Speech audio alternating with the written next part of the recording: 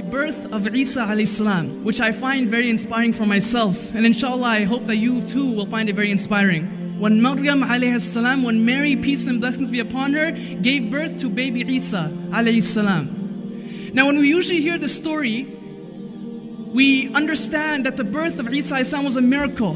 That he was born without a father, he was born miraculously. And so we understand that miracles can happen. But if we scratch deeper beneath the surface, there are a few more things to learn from this story. And so I hope to share with you those few more things very quickly, inshallah. Number one, Maryam alayhi salam, she is given a challenge. Allah subhanahu wa ta'ala tells her, Allah subhanahu wa ta'ala sends an angel to her and tells her that you are going to give birth to a baby without a husband, without a father.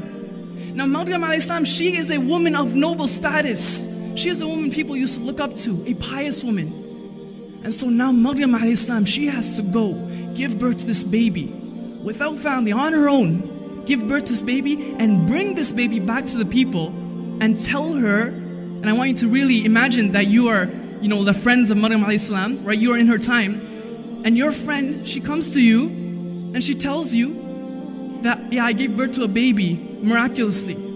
This is the challenge she's given no one's going to believe her. So, number one challenge in life, we face challenges. We all face challenges. And so, Maryam alayhi salam, she's given a challenge. Number two,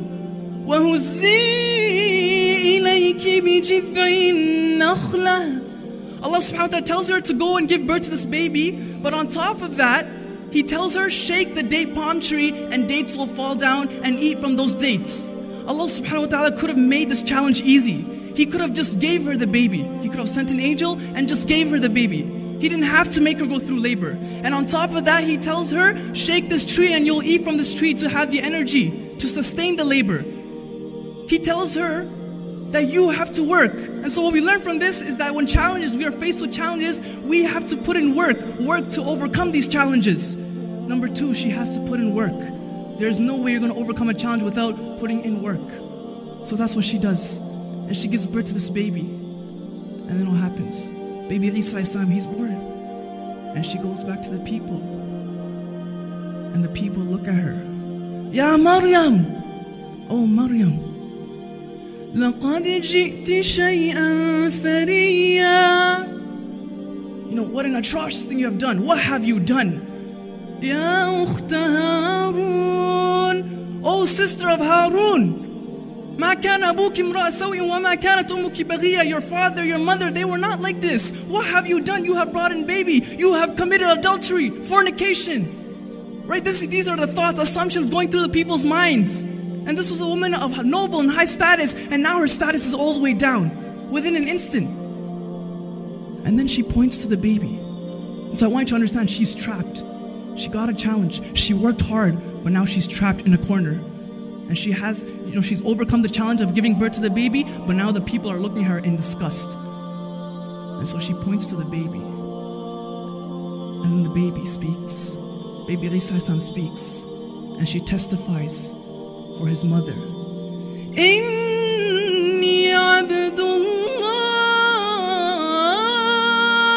That I am the servant of Allah subhanahu wa ta'ala. And he testifies for his mother and gets her innocence back. And the people are amazed that this is a baby who was born miraculously. And Mary salam, she did not commit fornication. She is still noble, and in fact, her status has even elevated before from what it was before. And so, what we learn from this, we learn that when we face challenges, we have to work hard to overcome them, just like Maryam.